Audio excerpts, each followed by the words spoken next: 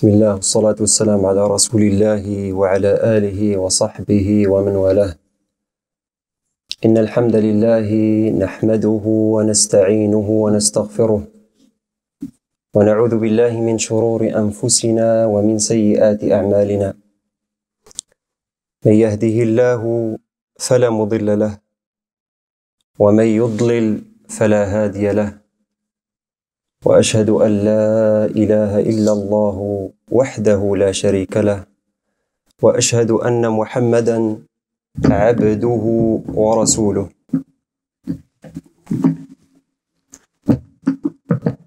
أما بعد خليفة ذا برودرز اند زيسترز السلام عليكم ورحمة الله وبركاته Ik heet jullie van harte welkom. Naam, op deze geweldige avond, inshallah ta'ala. We bedanken Allah subhanahu wa ta'ala dat hij ons in staat heeft gesteld dat we hier bij elkaar mogen zijn. Het is een grote gunst. Daar dienen we Allah subhanahu wa ta'ala voor te bedanken. Want het is niet vanzelfsprekend. Naam, jij bent zelf naar hier toe gekomen. Maar het is door de leiding van Allah subhanahu wa ta'ala. En daar dient men stil bij te staan. En Allah subhanahu wa ta'ala te bedanken voor zijn leiding. Dus we bedanken Allah subhanahu wa ta'ala hiervoor. Vervolgens gaat mijn dank aan de moskee Stichting Al-Fitra, de organisatie die dit mogelijk heeft gemaakt. Mag Allah subhanahu wa ta'ala hun daarvoor rijkelijk belonen. Zoals jullie weten staat het onderwerp van vandaag onder het teken van de vrijheid. De vrijheid. We gaan inshallah ta'ala stilstaan, naam, met wat wordt er verstaan onder de vrijheid. We gaan ook stilstaan bij een aantal termen die onder het mom van vrijheid uh, in het leven zijn geroepen. Naam, daar gaan we inshallah ta'ala stil bij staan. We gaan leren of we gaan stilstaan bij onze grootste vijand. Wie is dat? Wat zijn zijn plannen? Naam. Uh, vervolgens gaan wij proberen te begrijpen, naam, hoe, of naam, we gaan proberen te begrijpen hoe deze samenleving, uh, om onze samenleving beter te leren kennen. Naam, we gaan stilstaan om een beetje te leren kennen hoe deze samenleving in elkaar zit. Uh, de doelen van deze lezing zijn 1. Bewust worden van de plannen van de shaitaan en zijn soldaten. En hiertegen strijden en jezelf hiertegen te beschermen. Bewust worden dat de man de leider is van het gezin en wat zijn waarden en gunsten zijn die hij van Allah subhanahu wa ta'ala heeft gekregen. Bewust worden dat de vrouw de hoeksteen van de maatschappij is en wat haar waarden en gunsten zijn die zij van Allah subhanahu wa ta'ala heeft gekregen. Bewust zijn van de plannen die sommige niet-moslims beramen jegens zowel de vrouw als de man om hen te misleiden. Weten hoe we, hoe we onszelf kunnen beschermen tegen de listen van de shaitaan. Onder de djinn en de mensen. Opkomen voor de waarheid. Opkomen voor de waarheid. Door, het, door middel van het vergaren van kennis. En het overbrengen naar anderen. Je kan jezelf de volgende vragen stellen. Waarom is het altijd de man die geen verantwoordelijkheid mag nemen? Of hij wordt als agressief en onderdrukker bestempeld? En waarom zijn het altijd vrouwen die half naakt op billboards of reclameborden staan? Heb je jezelf dat wel eens afgevraagd? Het is belangrijk als moslim-individu dat je leert wat jouw individuele verantwoordelijkheden en verplichtingen zijn ten opzichte van Allah subhanahu wa ta'ala. Om zo over jezelf te waken en de anderen geen onrecht aan te doen. De individuele verplichtingen die betrekking hebben tot seksuele opvoeding, hebben wij tot nu toe, tot nu toe ruim behandeld in de voorgaande naam, uh, jongere avonden. Echter hoorden moslims ook te beseffen dat hij in deze wereld niet alleen individuele verplichtingen, maar ook collectieve verplichtingen en verantwoordelijkheden heeft. En natuurlijk onderdeel uitmaakt van een gemeenschap, die wederom onderdeel uitmaakt van een maatschappij waarin men leeft. Vandaar dat het ook belangrijk is dat de moslim meer leert over zijn omgeving. En daar meer bewust van is. Zodat men naar gelang de tevredenheid van Allah subhanahu wa ta'ala in deze maatschappij zijn positieve rol en verantwoordelijkheid neemt. Ook dient men deze maatschappij te begrijpen. Zodat hij van de positieve zaken profiteert. En zichzelf en de anderen beschermt tegen negatieve invloeden die beraamd worden. Zodat hij zichzelf en de anderen behandelt met barmhartigheid, rechtvaardigheid en goedheid. En daarin afstand neemt van slechtheid, onrechtvaardigheid en bedorvenheid. We gaan inshallah ta'ala in deze lezing de maatschappij, zoals ik al eerder zei, beter leren kennen. We beperken ons met betrekking tot ons onderwerp seksuele opvoeding. Tot de volgende zaak. De plannen van de shaitaan. Om de maatschappij te begrijpen, hoor je ook de plannen van de shaitaan te begrijpen. De grote invloed van de maatschappij en hoe je dat als individu om kan zetten in een positieve bijdrage aan de maatschappij algemene normen en waarden die sommige mensen op een negatieve, nadelige wijze misbruiken.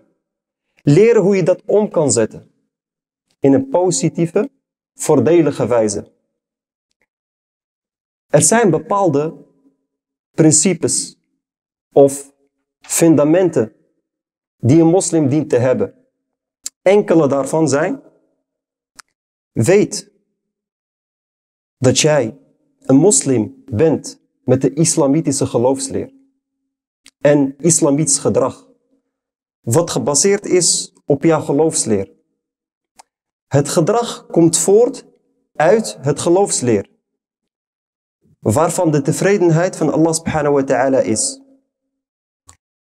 De profeet Mohammed sallallahu alayhi wasallam heeft 13 jaar in een niet-islamitische land geleefd en is ons voorbeeld in de wijze waarop wij in zo'n maatschappij dienen te fungeren.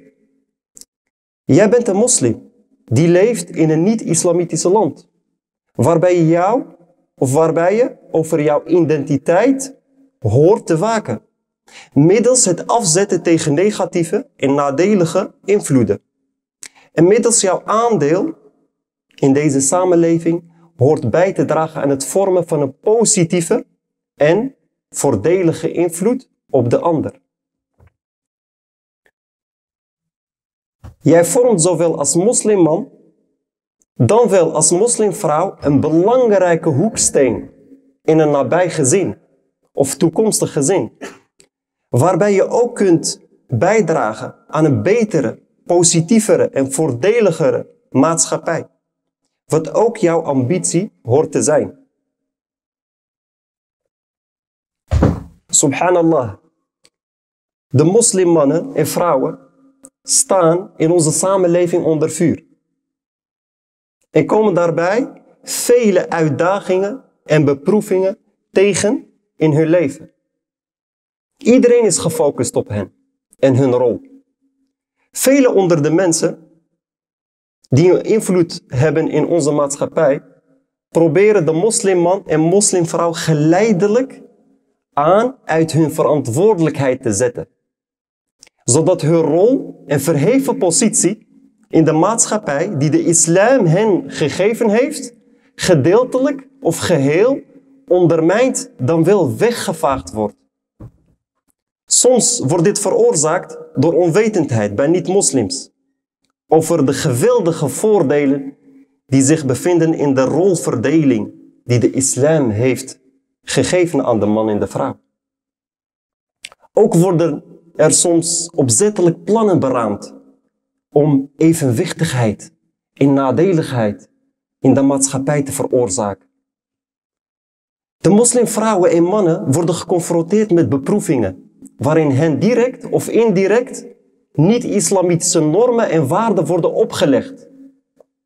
Waarbij van hen verwacht wordt dat zij zich hier aan moeten aanpassen. Zo worden de moslims onder druk gezet en beperkt in de uiting van hun islamitische normen en waarden. Zoals bijvoorbeeld het dragen van hijab of bepaalde kleding. Het niet schudden van de handen van het andere geslacht, etc. Op deze wijze trachten sommigen hetgeen wat de islam, de moslimman en de moslimvrouw heeft voorgeschreven en als positie heeft gegeven, te ontkrachten. Sommigen onder de moslims bezwijken hiervoor wegens onwetendheid of onwilligheid om de geweldige islamitische normen en waarden na te komen. Vandaar dat het zeer belangrijk is om kennis te maken met de plannen van de shaitaan. Om te weten hoe men zich daar, daartegen kan weren met betrekking tot ons onderwerp, seksuele opvoeding. Allah subhanahu wa ta'ala heeft de moslimman een verantwoordelijke, verheven positie gegeven die bij zijn geschapen eigenschappen past. En Allah subhanahu wa ta'ala heeft de vrouw middels de islam verheven. En een belangrijke, eervolle positie gegeven in de maatschappij. Allah subhanahu wa ta'ala beproeft de mens onder andere met de shaitaan. De shaitaan is met zijn soldaten en volgers onze nummer één vijand. De shaitaan zal de mens niet met rust laten. Totdat het hart volledig bedorven is. Hij is de sluwste persoon die de mens goed kent en gaat stapsgewijs te werk. Totdat datgene zijn geloof, totdat diegene zijn geloof verlaat of shirk pleegt. Hij is de slechtste onder de jinn, onder de jinns. En de mensen waar... Hij is de slechtste onder de jinns en de mensen. Want de shaitaan heeft vanaf Adam de tijd om zijn trucjes te verfijnen. Hij verleidde mensen met rijkdom. De shaitaan verleidde mensen met rijkdom en eeuwigheid. Zoals hij dat ook bij Adam heeft gedaan. Zoals wij weten krijgt de shaitaan uitstel van de bestraffing tot aan Yom al-Qiyamah. Wat wil de shaitaan nu doen in de tussentijd? Zoveel mogelijk mensen laten dwalen naar het verkeerde pad. Dat is het doel van de shaitaan. Zodat hij op Yom al-Qiyamah niet alleen het hele vuur binnenkomt of binnen zal treden. De shaitaan doet er dus alles aan om jou, mij en de gehele mensheid van het rechte pad af te houden. Zodat Allah subhanahu wa ta'ala ontevreden over ons zal zijn. Al hetgeen wat gebeurt onder de kinderen van Adam, dus onder de kinderen van Adam verstaan we de gehele mensheid, wat betreft ongeloof, moord, haat, verspreiding van onzedelijkheid en ontucht, het openbaar maken van vrouwelijke schoonheden, alcohol en andere grote zondes is allemaal het werk van de shaitaan. Allah subhanahu wa ta'ala zegt in Surat al-Ma'idah يا أيها الذين آمنوا إنما الخمر والميسر والأنصاب والأزلام إنما الخمر والميسر والأنصاب والأزلام رجس من عمل الشيطان. فاجتنبوه لعلكم تفلحون. إنما يريد الشيطان أن يوقع بينكم العداوة والبغضاء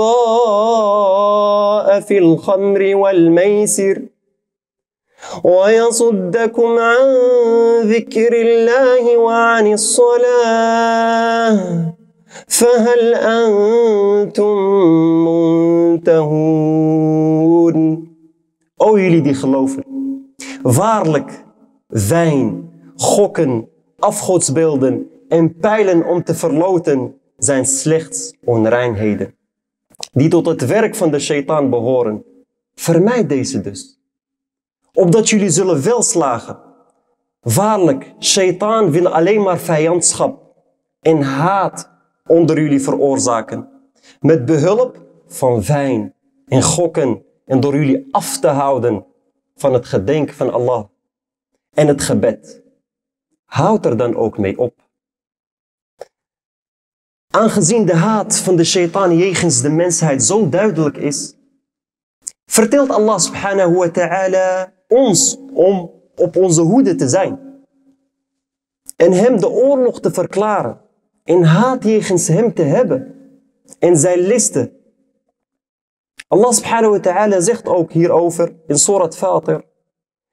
إن الشيطان لكم عدو فاتخذوه عدوا إنما يدعو حزبه ليكونوا من أصحاب السعير Waarlijk, shaitaan is voor jullie een vijand. Beschouwt hem daarom als een vijand. Voorwaar, hij roept zijn volgelingen slechts op om tot de bewoners van het laaiend vuur te behoren. Omdat de shaitaan onze vijand is, beste geliefde broeders en zusters, moeten wij ervoor zorgen dat wij niet in zijn listen komen te vervallen. Allah subhanahu wa ta'ala en de profeet Mohammed sallallahu alayhi wa sallam waarschuwen ons vele malen voor de shaitaan. Hij gaat immers op zo'n sluwe manier te werk dat de meeste mensen het niet doorhebben. Daarom is het belangrijk dat wij leren hoe hij te werk gaat en wat zijn plannetjes zijn tegen de moslims. Om hen te vernietigen, waardoor de gehele maatschappij in principe instabiel wordt en in elkaar zakt. De shaitaan, oftewel Iblis, werkt niet alleen.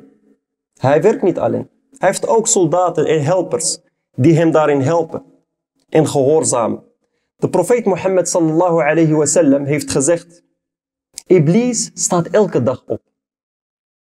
Hij gaat op zijn troon zitten en hij zegt, wie gaat deze kroon dragen?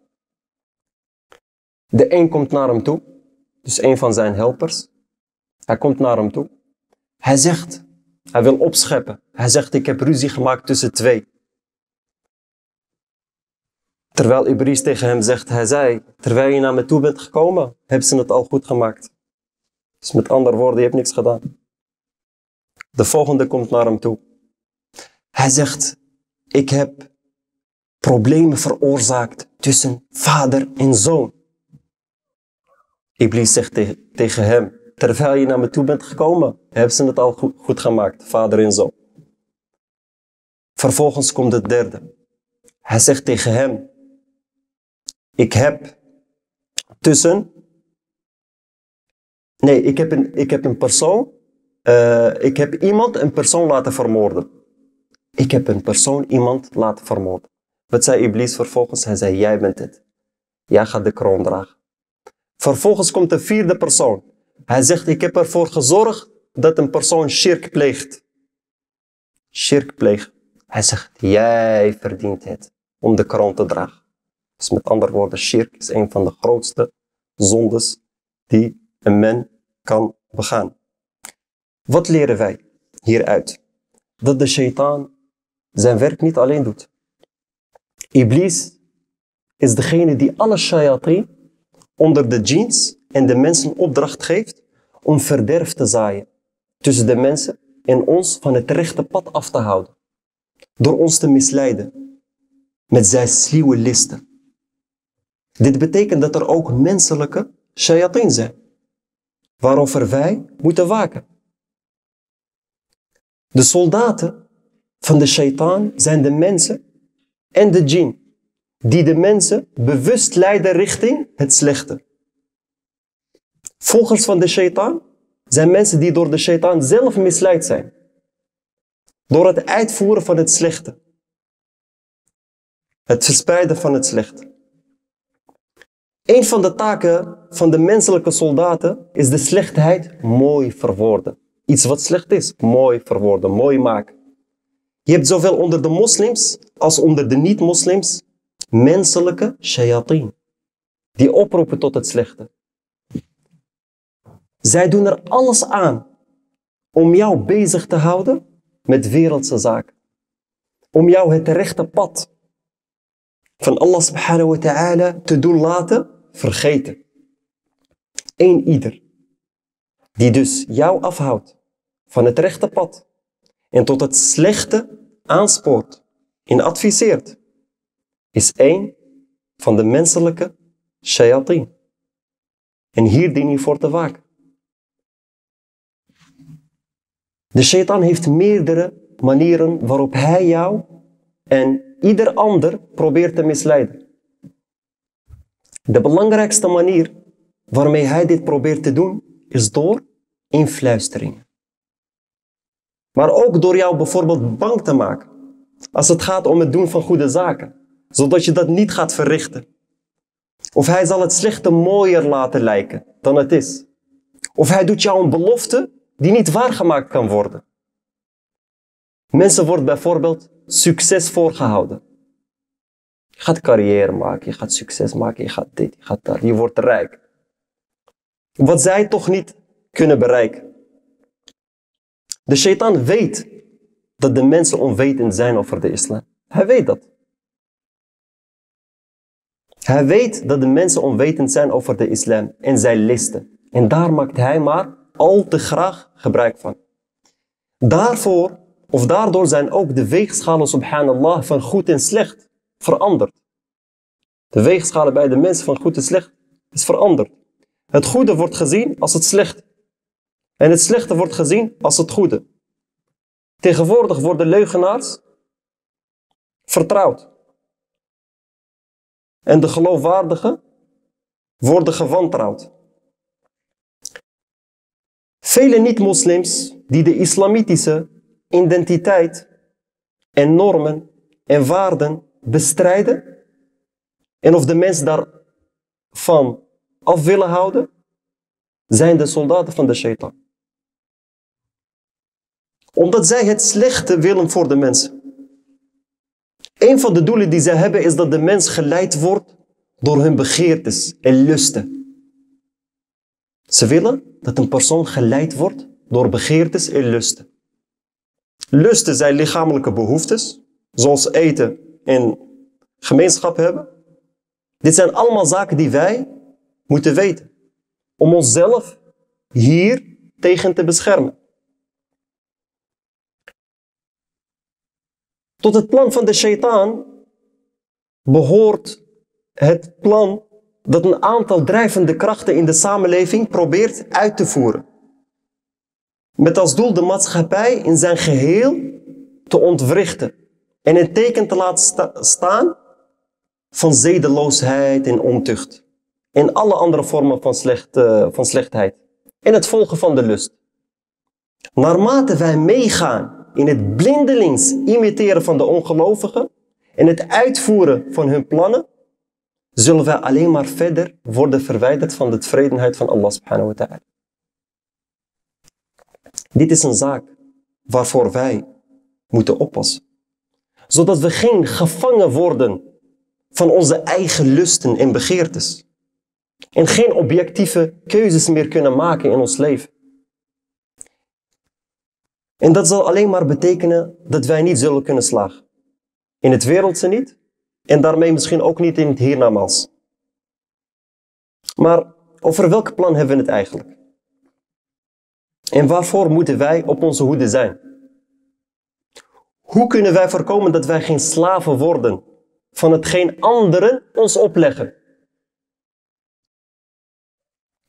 Uiteindelijk heeft de shaitaan maar één plan. Met de gehele maatschappij. Hij wil dat zij verwijderd worden van hun godsdienst. Wat wil hij? Dat zij verwijderd worden van hun godsdienst. En de mensen slechts hun begeertes en lusten gaan volgen. Dat is het doel van de shaitan. En dat dat hun weegschaal wordt in het leven. En niet de weegschaal van de tevredenheid van Allah subhanahu wa ta'ala. En wanneer de maatschappij alleen maar zijn begeertes en lusten volgt, zal het heel makkelijk zijn voor hem. Zal het heel makkelijk zijn voor de shaitaan en zijn helpers en soldaten om de maatschappij te sturen. Om de maatschappij te sturen en leiden zoals zij willen. En dit kan alleen maar betekenen dat hij een ieder die hier aan meedoet, zal leiden richting het helfuur. Zo worden mensen via verschillende wegen beïnvloed. En wordt voor hen bepaald hoe zij hun leven moeten leiden. Zoals via de media. Tegenwoordig wordt alle zedeloosheid op vele snelle manieren verspreid via de media. Vaak doe je eraan mee alsof het de normaalste zaak is. Alsof het de normaalste zaak van de wereld is. Bepaalde zaken worden in de media neergezet alsof dat de enige waarheid is. Op een manier waarmee ze de moslims alleen verder proberen af te houden van hun geloof. Kijk maar bijvoorbeeld naar de mode. Is het niet zo dat door de modewereld en media voor ons bepaald wordt wat volgens hen de mode is?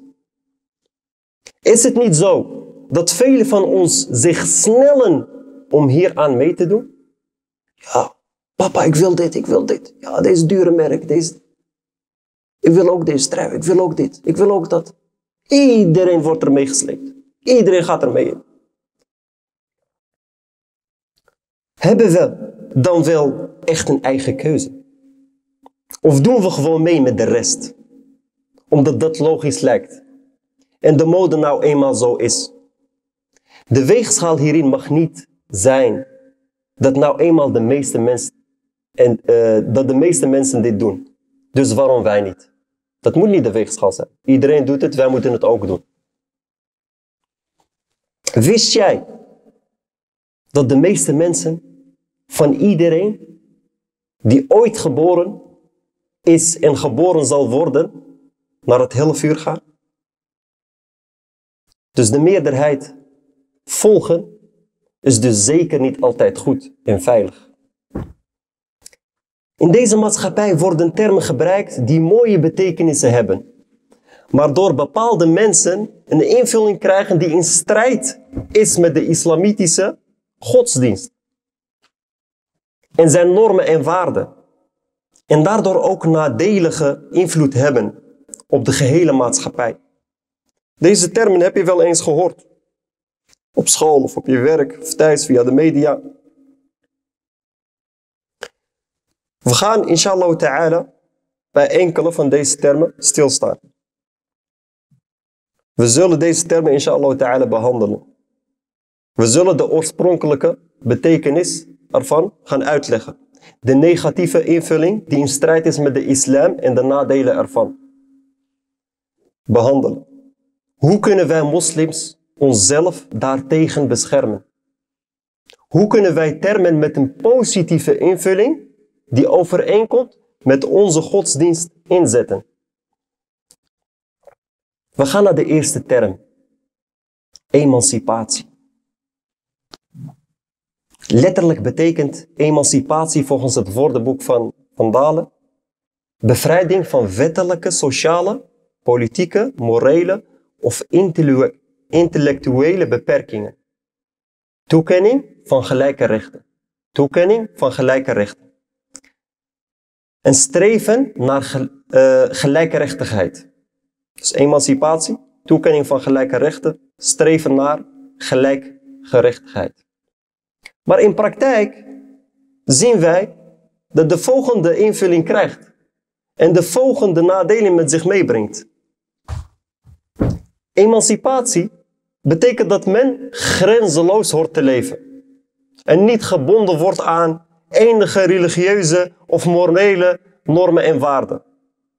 Hierdoor zal men in tegenstelling tot de betekenis van het woord niet vrij zijn, maar gevangenen zijn door lusten en begeertes van zichzelf en anderen.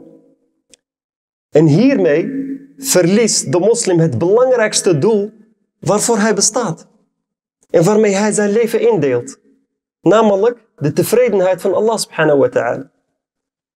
Twee, dat de vrouw en de man, ondanks hun verschillen in lichamelijke en geestelijke eigenschappen, gelijke taken en verantwoordelijkheden toebedeeld krijgen. Die soms niet aansluiten bij hun lichamelijke en geestelijke eigenschappen. Dus de weegschaal van goed en slecht is afhankelijk van de begeertes van elke persoon. Is afhankelijk van de begeerte van elke persoon. We leven in een land van vrijheid. Waar je jouw eigen keuze in mag maken. Alhamdulillah. Maar hoe kunnen we keuzes maken als wij leven binnen een maatschappij waarin hetgeen wat Allah van ons vraagt niet normaal gevonden wordt? En hetgeen wat ons gevraagd wordt, ons vaak leidt tot de ontevredenheid van Allah subhanahu wa ta'ala. Drie. De vrouw wordt slechts als een seksobject in, of als verkoopwaar misbruikt. En ontdaan voor haar maatschappelijke verantwoordelijkheden die passen bij haar lichamelijke en geestelijke eigenschappen. Want sommige niet-moslims zijn bezig om de waarde en eer van de vrouw te vernietigen. Zij wordt niet meer gezien als een gerespecteerd wezen, maar als een stuk vlees waar anderen van willen genieten en misbruik van willen maken. En als je hier niet aan meedoet, hoor je er niet bij. Het seksuele gedrag van zowel de man als de vrouw is grenzeloos en wordt niet gestuurd door wat goed en slecht is voor hem. Maar hoe kunnen wij moslims onszelf daartegen beschermen? In ons geloof wordt er eerbiedig met de vrouw omgegaan. En wordt de vrouw met respect behandeld. Allah subhanahu wa ta'ala heeft haar als een prachtig schepsel geschapen. En heeft voor haar vastgesteld dat zij moet waken over haar schoonheid. Dit is voor haar eigen veiligheid en zelfrespect. Schaamte speelt hierin een grote rol. De, de verkeerde betekenis van emancipatie en de praktische inhoud die de niet-moslims hier aangeven, leidt er juist toe dat de schaamte van een vrouw verdwijnt. En hier moeten wij voor waken. Deze schaamte is ook goed voor de man. Om zijn begeerten en lusten te kunnen besturen. En opdat hij een onbeschadigde diamant, dus zijn echtgenote, aan zijn zij heeft. Hoe kunnen wij deze termen met een positieve invulling die overeenkomt met onze godsdienst inzetten? Tot emancipatie behoort als eerste betekenis in Vandalen vrijmaking uit slavernij of lijfeigenschap. Dat betekent dat deze beperkte betekenis ook past binnen de islam. Deze term emancipatie past ook binnen de islam. Namelijk dat je jezelf vrijmaakt van elke gevangen houding van een lust of begeerte. En dat je dusdanig vrij bent om middels jouw verstand te kiezen voor het juiste profijt wat jouw schepper voor jou bepaald heeft. Allah subhanahu wa ta'ala heeft zijn regels op twee belangrijke zaken gebaseerd. Eén, het verkrijgen van goedheid en profijt voor de mens. En het tegenhouden van slechtheid voor de mens. En Allah subhanahu wa ta'ala heeft de mens hiermee duidelijk gemaakt. Wat goed en wat slecht voor hem is. En wanneer de mens met zijn verstand de juiste keuze heeft gemaakt. Pas dan is hij daadwerkelijk geëmancipeerd. En daarom is de enige die daadwerkelijk geëmancipeerd is, degene die uit liefde en angst voor hem en uit liefde voor goedheid en afschuw voor slechtheid, voor zijn profijt, kiest boven zijn nadeel. We gaan naar de volgende term. Geliefde broeders en zusters. Jullie kennen het wel. Of jullie hebben het wel gehoord. Het feminisme. Feminisme betekent volgens het woordenboek het streven naar een gelijkwaardige behandeling van vrouwen ten opzichte van mannen. Een gelijkwaardige behandeling van vrouwen ten opzichte van mannen. Op het maatschappelijke, economische en juridische vlak. Nou, maar in praktijk zien wij dat het de volgende invulling krijgt en de volgende nadelen met zich meebrengt. 1. Men streeft naar een gelijkwaardige behandeling van vrouwen ten opzichte van de mannen. Dit komt doordat de vrouw vroeger in deze maatschappij ongewaardeerd werd en zij bijna geen rechten had. Dit heeft ertoe geleid dat men soort van doorgeslagen is door haar bijna te dwingen zich te ontdoen van haar oorspronkelijke maatschappelijke verantwoordelijkheid. Zoals het waken over het gezin. En het opvoeden van haar kinderen. En over het gaan tot het werken buitenshuis. Zonder rekening te houden met haar maatschappelijke verantwoordelijkheid. De doorbreking van de traditionele rolpatronen betekent praktisch dat men het gezin wil ontwrichten. Door chaos te veroorzaken in de taakverdeling. Allah subhanahu wa ta'ala heeft de man en de vrouw geschapen. Allah subhanahu wa ta'ala is degene die de vrouw en de man heeft geschapen. En weet als geen enige wat het beste voor hen is. Wanneer de taakverdeling die Allah subhanahu wa ta'ala voor de man en de vrouw heeft bepaald, wordt veranderd, zal dit alleen maar slechtheid en chaos tot gevolg hebben. En dat is ook precies één van hun doelen. Want als het niet goed gaat met de gezinnen, zal dit ook het gevolg zijn in de maatschappij als geheel. Geliefde broeders en zusters, hoe kunnen wij, moslims, onszelf daartegen beschermen? En hoe kunnen wij deze termen met een positieve invulling die overeenkomt met onze godsdienst inzetten? Dit kunnen wij doen door hetgeen te verrichten wat Allah subhanahu wa ta'ala van ons vraagt. En er zeker van te zijn dat het het beste voor ons is. Wat dienen wij te doen? Door hetgeen te verrichten wat Allah subhanahu wa ta'ala van ons vraagt. En er zeker van te zijn, zeker van te zijn, dat het het beste voor ons is. Vanuit de islam is de positie van de vrouw en die van de man duidelijk gemaakt. De traditionele patronen zijn daar ook een onderdeel van. Vrouwen hebben een hele bijzondere plek gekregen binnen het geloof. En mannen hebben hun bijzondere plek gekregen. Allah heeft naar het vermogen gekeken van een ieder, zowel mentaal als fysiek. En het beste voor hen beide gekozen. Het feit dat ze niet gelijksoortig aan elkaar zijn, is duidelijk. En ook iets waar we ons niet druk om moeten maken. We moeten ons druk maken om de tevredenheid van Allah subhanahu wa ta'ala. En ons afvragen of wij doen wat Hij van ons verwacht. En of wij leven zoals Hij dat bedoeld heeft voor ons. Opdat we gelukkig worden en een gezond gezinsleven kunnen stichten. De wetgeving van Allah subhanahu wa ta'ala is voor zowel mannen als voor vrouwen.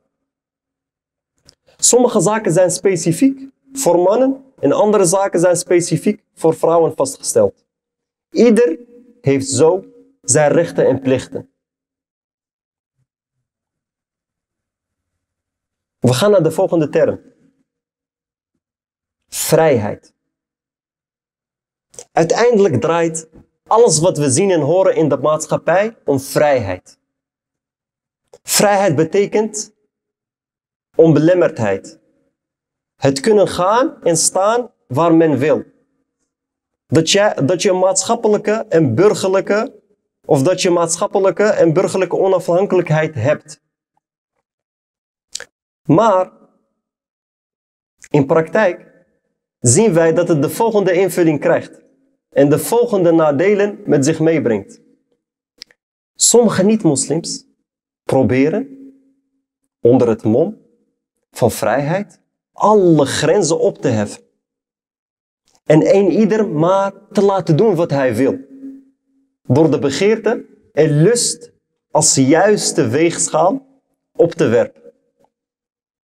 Het komt vaak voor in de maatschappij dat voor mensen wordt bepaald wat vrijheid is. Zonder er rekening mee te houden dat vrijheid voor een ander wellicht anders is.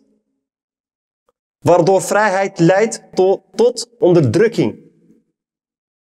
Een voorbeeld hiervoor is het hoofddoekverbod. Bijvoorbeeld in België. De niqab hier in Nederland. Maar ook de moeite, subhanallah, waarmee je een baan krijgt. Als je bijvoorbeeld bepaalde kledij aantrekt. Of bijvoorbeeld geen hand wil schudden met een ander geslacht.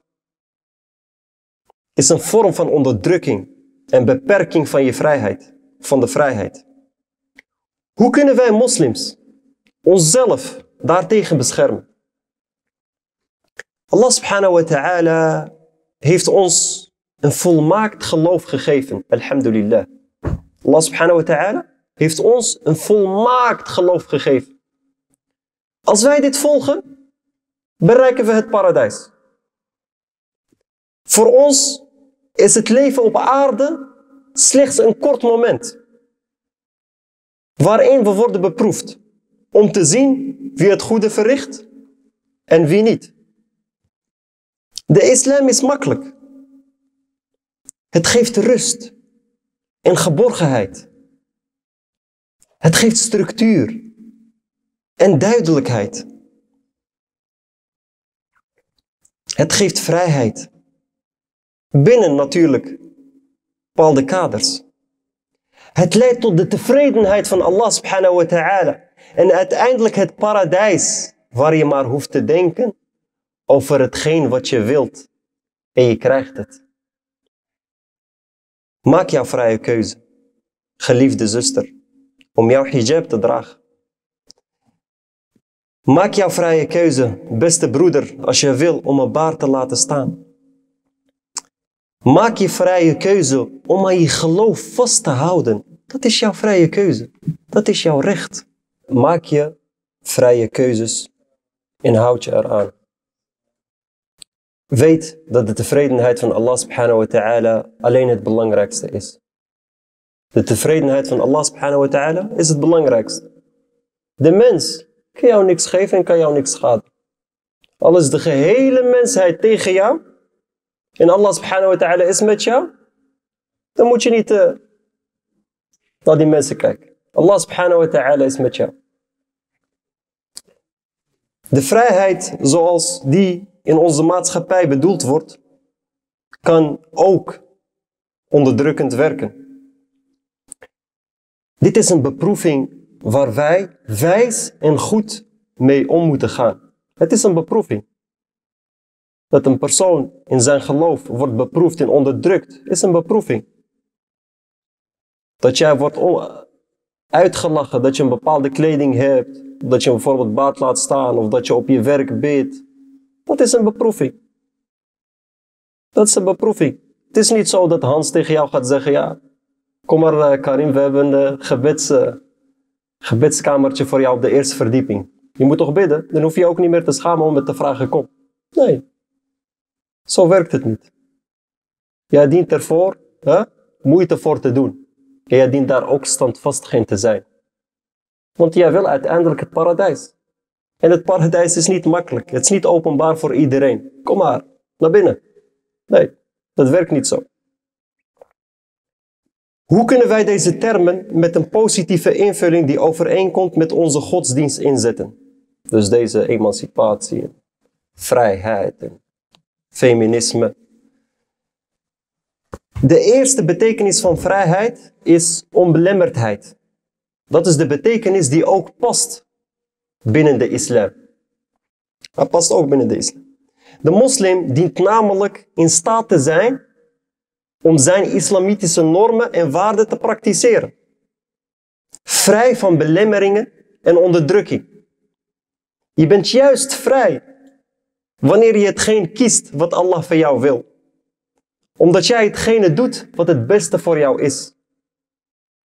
En je laat geen zaak voor je bepalen of opleggen door mensen te volgen en hetgeen wat volgens hen goed voor jou is. We gaan naar de volgende term, beste geliefde broeders en zusters. Vrijheid van meningsuiting. Subhanallah. Dit is een zeer actueel thema, waar wij veel over horen in de media. Het is vrijheid van meningsuiting. Ik mag zeggen wat ik wil. Vrijheid van meningsuiting betekent eigenlijk dat je vrij bent om te zeggen wat je wil. En jouw overtuigingen kenbaar maakt. In praktijk zien wij dat het de volgende invulling krijgt en de volgende nadelen met zich meebrengt. Want onder het mom van deze zogenaamde vrijheid van meningsuiting zien wij vaak dat men dit gebruikt om daarmee de islam en de moslims te bespotten en te beledigen. En dit veroorzaakt onrust en chaos in de maatschappij, waarbij de mensen onnodig tegen elkaar worden opgezet. Maar hoe kunnen wij als moslims onszelf daartegen beschermen? Door te weten dat vrijheid van meningsuiting binnen de islam niet geldt wanneer het te maken heeft met religieuze zaken of de wetgeving van Allah subhanahu wa ta'ala. Het geldt slechts voor dunya zaken die het goede leiden. Wanneer het verricht wordt met goed gedrag. In de islamitische normen en waarden.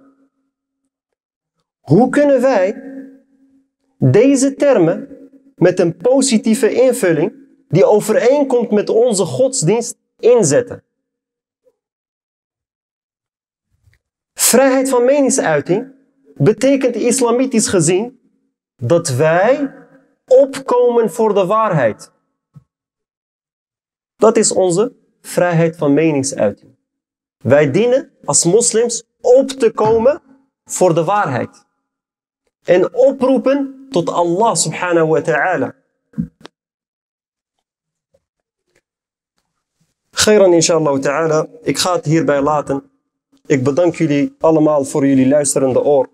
Mogen Allah subhanahu wa ta'ala ons leiden naar het goede. Mogen Allah subhanahu wa ta'ala ons behoeden van het slechte en van de listen van de shaitaan. Mogen Allah subhanahu wa ta'ala ons in staat stellen naam, om de eh, islam op de juiste wijze te praktiseren en ons te beschermen van alle listen van de shaitaan. إنه ولي ذلك والقادر عليه. وسبحانك اللهم بحمدك أشهد أن لا إله إلا أنت أستغفرك وأتوب إليك. والسلام عليكم ورحمة الله وبركاته.